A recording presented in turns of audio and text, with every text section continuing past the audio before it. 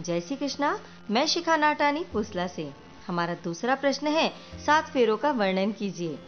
मैं अपने अनुभव के अनुसार जो भी मैंने देखा, सुना और पढ़ा है, अपने विचार प्रस्तुत कर रही हूँ। वैदिक परंपराओं के अनुसार सात फेरे विवाह की स्थिरता का मुख्य स्तंभ होते हैं। विवाह के समय वर वधु अग्नि के समक्ष फेरे लेकर ध्रुव तारे को साक्षी मानकर तन, मन और आत्मा से एक पवित्र बंधन में बंध जाते हैं। हर धर्म में विवाह को लेकर अलग अलग मान्यताएँ होती हैं, मगर इन सब के पीछे का महत्व एक ही होता है, और वो है कि दोनों ही एक दूसरे के प्रति समर्पित रहें और एक दूसरे का सम्मान करें। हमारे मारवाड़ी समाज में इन सात फेरों को विशेष विधि द्वारा संपन्न कराया जाता है। प्रथम तीन फेरे, तोरण के नीचे चौकी पर दूल्हे राजा को खड़ा करके कन्या के मामा द्वारा अपनी भांजी को साथ लेकर किए जाते हैं और बाकी चार फेरे मंडप में पवित्र अग्नि के चारों ओर लिए जाते हैं।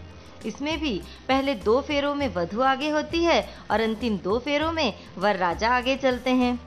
सात वचन सप्तपदी और अग्नि की प्रदक्षिणा चार। ऐसा माना जाता है कि यह चार फेरे अर्थ, धर्म, काम और मोक्ष के प्रतीक हैं।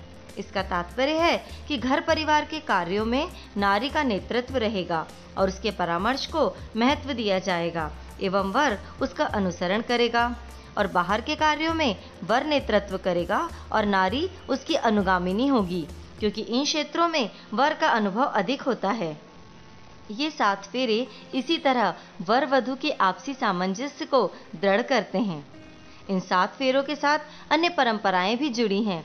जैसे पहले के समय में फेरों में कन्या स्नान के बाद मामा कावल कुमार वरी पहनती थी। इन श्वेत वस्त्रों के साथ कोई जेवर या श्रृंगार नहीं होता था। इसके स्थान पर अब कन्या मामा के दिए गुलाबी वस्त्र पहनती है। कुछ बदलाव के साथ भावनाएँ एवं रस्में वही हैं। सात फेरों से सात जन्मों तक का साथ।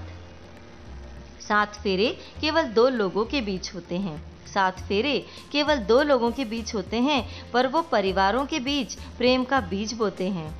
जीवन साथी के साथ जीवन की हर पहेली सुलझानी है।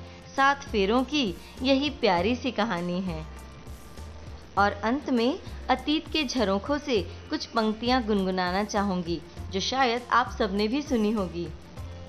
जब तक पूरे ना हो, फेरे तब तक दुल्हन नहीं दूल्हा की।